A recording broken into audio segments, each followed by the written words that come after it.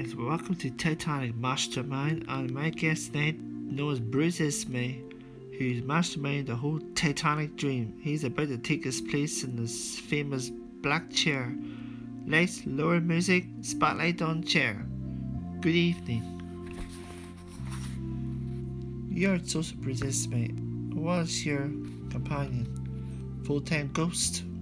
Former chairman? Managing director of the White Star Line? So why your specialist equipment was upset to me? Titanic and me. Is me. You have one minute to answer the following questions. What job did your father do, Mr. Thomas Ismay? He was the boss of a shipping company called the White Star Line, which he set up. Correct. When did you take over from him? When he died in 1899. Correct 1907 you met Lord Pirrie of the Harland and Wolff shipyard discussed White Star's answer to your arrival. Who was that? The Kermit Seaman Company. We were jealous of their new and very impressive ships, the Lusitania and the Mauretania. Correct. What was what was special about your ship Titanic?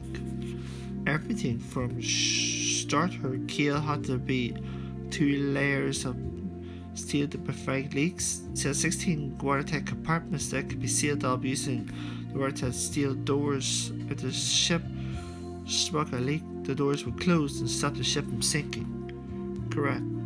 How they worked? They did if two or three sections were damaged, but the wire got in the ship would still have time to seal to safety. Unfortunately, more than three were ripped. As he was unsinkable after all, the century claimed that Titanic was a ship of dreams, the cheapest ship of all time. Well, I may have been a bit wrong about that. Correct, so why did you sail first class on Titanic's maiden voyage? I always sailed on every ship's first trip to check for any teething problems, to keep up the of passengers and crew, and to enjoy every bit of luxury after all, you also took along with you your valet and secretary. Correct. Then I scored a point. What was the names of your valet and secretary? Harry Vey and William Harness. What happened to him? Pass. Except that answer. They did pass away when they went down with the ship to be allowed on Titanic the first class. What do the passengers need? Pass.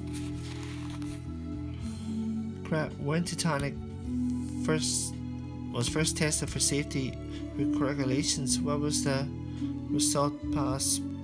Crap, passengers on Titanic made music, dance, play cards, sing, and entertainment each other to make the long evenings.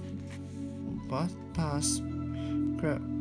When the ship approached an iceberg, she ship steered away, hoped to do what? Pass. Correct. Indeed, the hull hit underwater ice and ripped open. So how did he get up Titanic? Except the collapses airport scenescape, apart from the Titanic, we were with less wrecked Meteorization newspapers called me Bruce Ismay. Bruce Ismay saving myself. Scott, what happened to you next?